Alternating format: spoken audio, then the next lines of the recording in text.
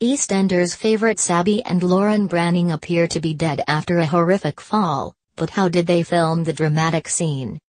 In what is already being dubbed the most explosive Christmas episode ever of the BBC soap, viewers watched in panic as the Branning sisters plunged to their doom. Abi and Lauren, who are being written out of EastEnders after more than a decade, showed no signs of waking up as their distraught parents looked on.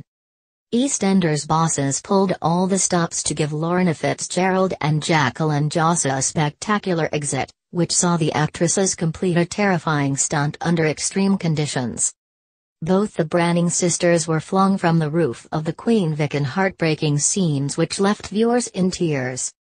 But there was also drama behind the scenes as the actresses were made to do their own stunts and did actually fall from the top of the pub. Speaking at a press day last week, Jacqueline and Lorna revealed they had to film at 2.00 am with a wind and rain machine in the freezing cold. Footage from the shoots shows the girls falling onto a platform that was built next to the actual Queen Vic roof.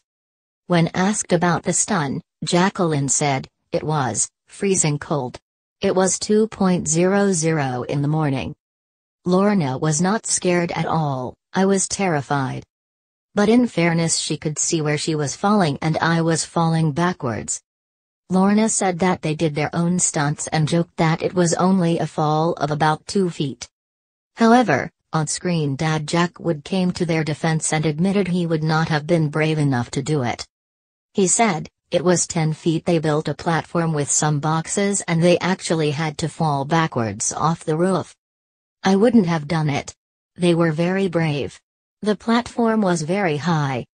Stacey told Max that he should have fallen off the Queen Vic roof instead of Bradley, so the despairing father climbed onto the ledge and threatened to jump. Abi and Lauren frantically ran up to save their dad, telling Max they still loved him, before both climbing dangerously onto the ledge.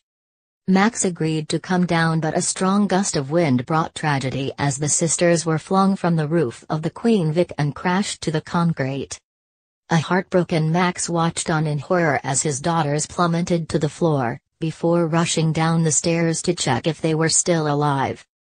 Tanya, Max and Stacey looked distraught as they stared down at Abi and Lauren's seemingly lifeless bodies.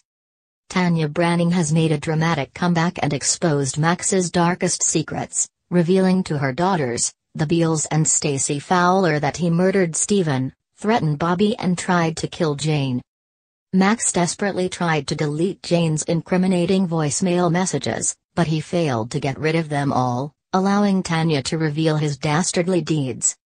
There were callbacks to the epic Christmas Day episode in 2007 where Max and Stacey's affair was exposed, as Tanya worked out they were seeing each other again. After a fight with Ian and a scuffle with Phil, where he was nearly shot, all of Max's loved ones washed their hands of the schemer, leaving him a broken man. But the worst was yet to come as both his daughters were left fighting for their lives. The EastEnders Christmas Day episode was the most action-packed in the soap's history, according to actor Jake Wood. Jake Wood told Mirror Online that the dramatic scripts were the best he's read during his 12 years in Walford and hoped they would leave fans on the edge of their seats. The soap star was proved right when he said viewers wouldn't be able to pause to take a breath while watching the emotional scenes. He admitted that the shocking twists and turns will undoubtedly change Albert Square forever, but believes there can be redemption for Max and hopes there is life for his character beyond this epic storyline. EastEnders continues on Boxing Day on BBC One at 7.30 pm.